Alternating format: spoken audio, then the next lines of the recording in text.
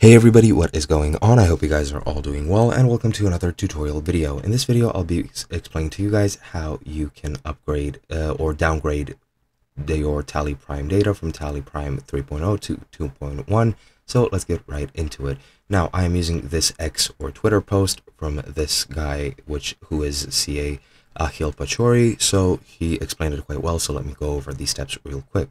So once you've migrated into 3.0, uh, your data will be divided into three or two folders, as you can see here.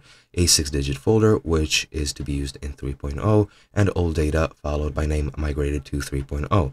This is your original data from 2.1.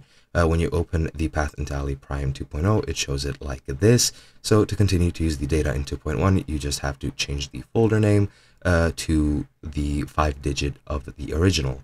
Now you can use the tally file as usual and it will be able to be opened in 2.1 and it is a very simple process. You do not have to use the actual migrate function in tally prime. All you have to do is just rename this file and tally prime 2.1 will automatically register it as an OK folder to use and as a valid data and that is all there is to it. Hope you guys enjoyed and I'll be seeing you guys in another video.